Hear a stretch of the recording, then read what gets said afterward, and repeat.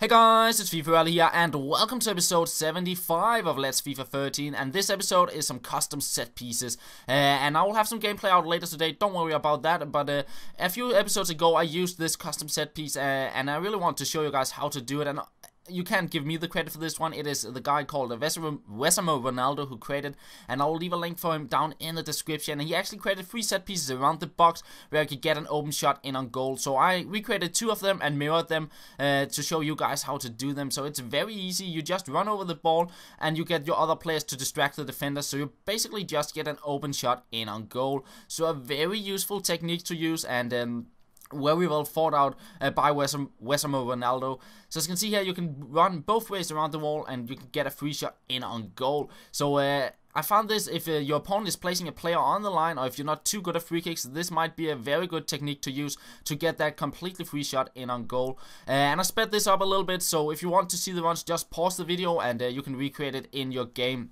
So one thing I found while uh, trying this out in games, especially in career mode, is that if you're a little bit too close to the box, it sometimes can act up a little bit because the player is running and he gets the ball and it can hit his heel and stuff like that. So a good technique to use is to use the fake shot stop if you want to get complete control over the ball and it seems to work very well and at the same time you can get some pretty cool finishes in like the Rabona here.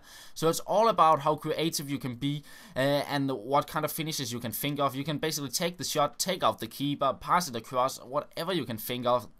And uh, the cool thing is you can basically run both ways around the wall.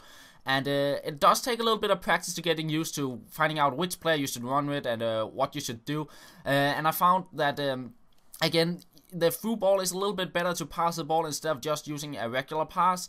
So I might use that when you do this and uh, yeah, you can pretty much do whatever you can think of. And once again, I want to say thank you to uh, Wessamo Ronaldo for posting this video response to my corner set pieces.